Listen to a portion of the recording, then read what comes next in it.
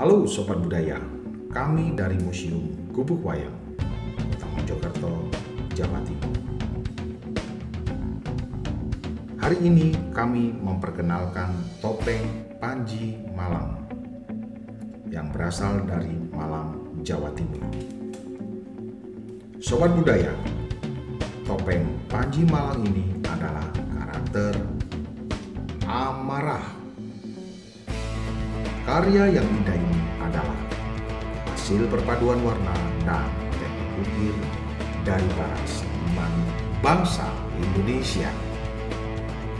Sobat budaya, mari kita lestarikan budaya Panji Indonesia. Salam budaya menyatukan bangsa.